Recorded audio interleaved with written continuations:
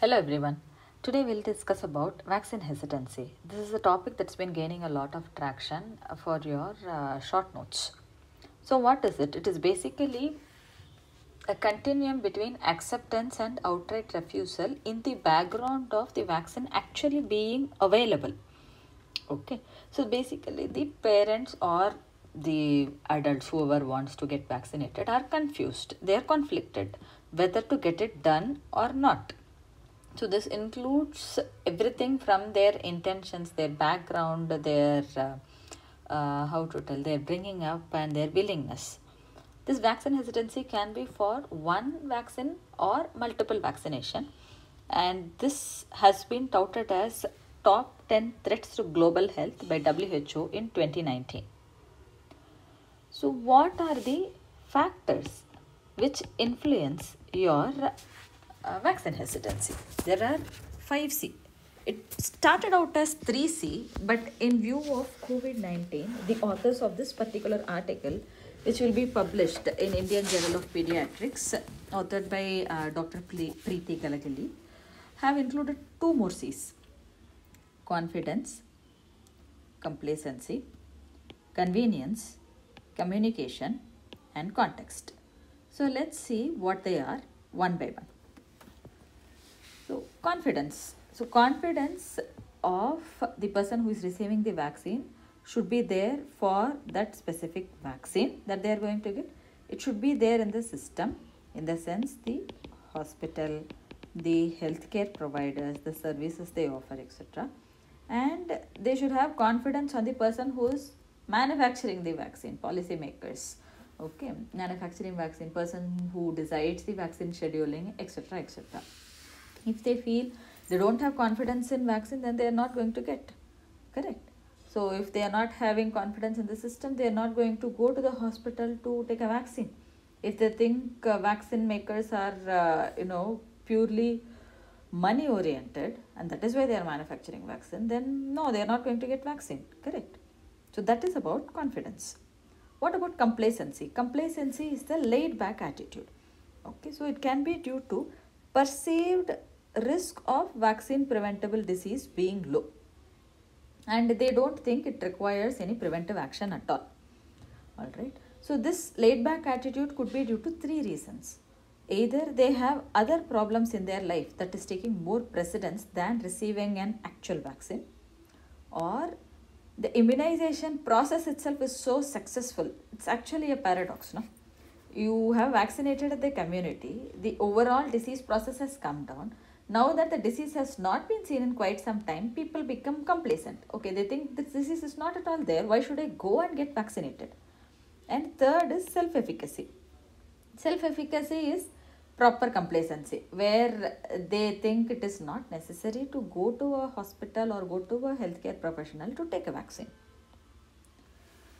Third C is convenience. Convenience is, as we all know, where should I go and get vaccine? Is it affordable?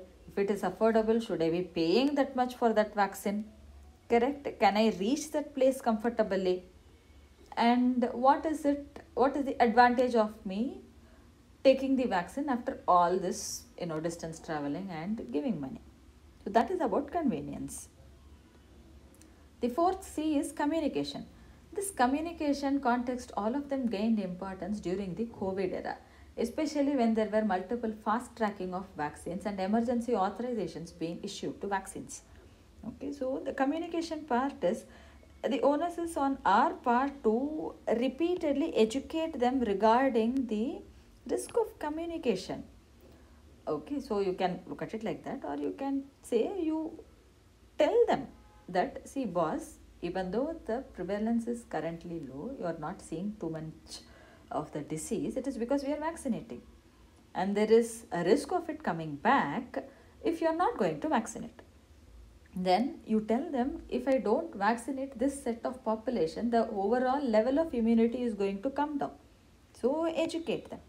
And only if this much population is vaccinated, the small amount of people who, you know, fall through the cracks, who don't actually get vaccinated, will still be protected because you are having at least some sort of herd immunity or you are surrounded by people who are already immune to the disease.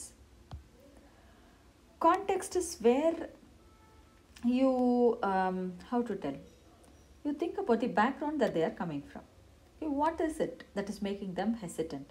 Is it you know their religious beliefs or from where they are from that is preventing them from having a vaccine is it their occupation that is preventing them or they are not at all affordable socioeconomic status that is preventing them? So why all of this is needed? Why are we talking about all of these factors which are influencing?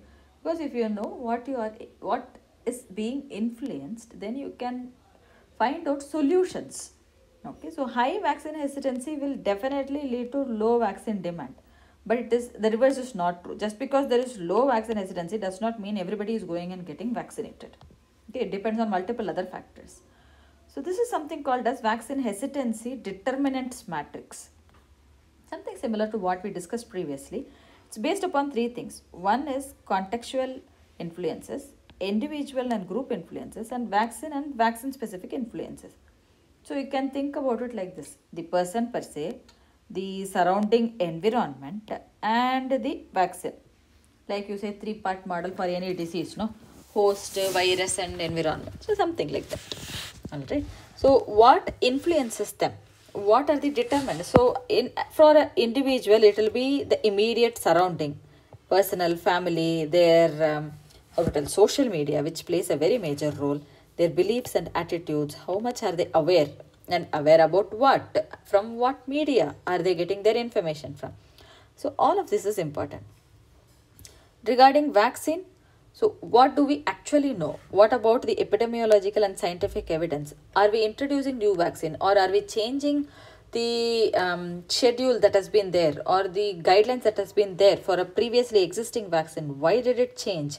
are we changing something uh, you know the mode of administration the dosage the duration the number of um, times that you have to get etc etc contextual influences basically your socio-cultural environmental what how have they been brought up? Who are they listening to? Who are their uh, you know influences for them? Their historical influences religion culture all of this will come into your contextual influences. How do you know we are vaccine hesitant? There are two ways to objectively, at least partially, subjectively assess whether we are vaccination hesitant. You can do it in one way, which is using a questionnaire. There are pre-validated questionnaires which are available, which talks about immunization behavior, whether you, you know, the parents answer yes or no, or they have a scale. Like, have you ever delayed having your child getting a shot for reasons other than illness or allergy?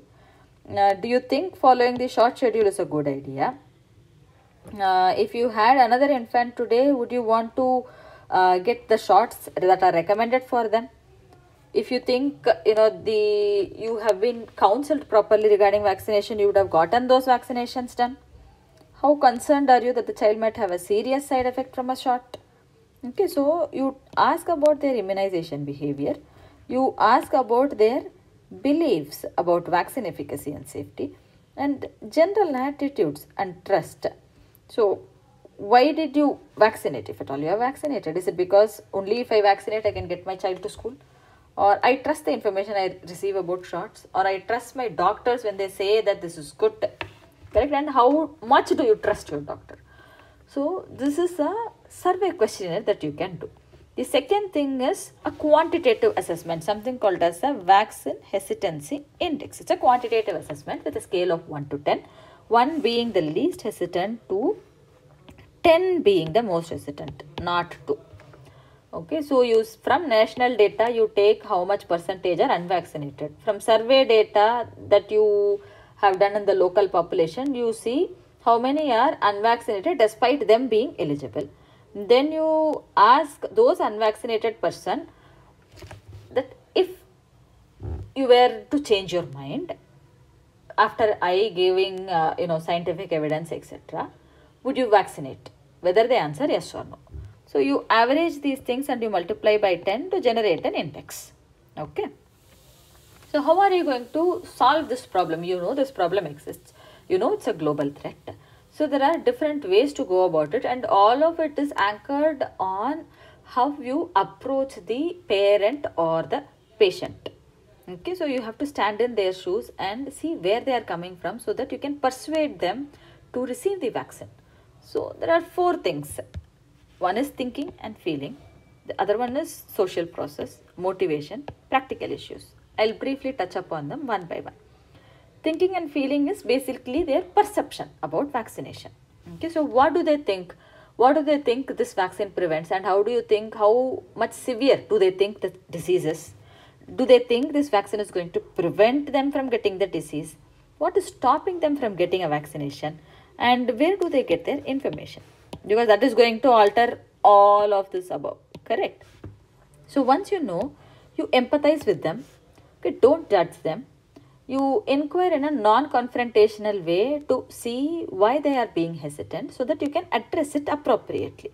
Okay, and especially if they are from a minority population where they have not received very good uh, uh, you know health care or they have not been treated well. So they will have a lot of hesitancy even coming to the hospital.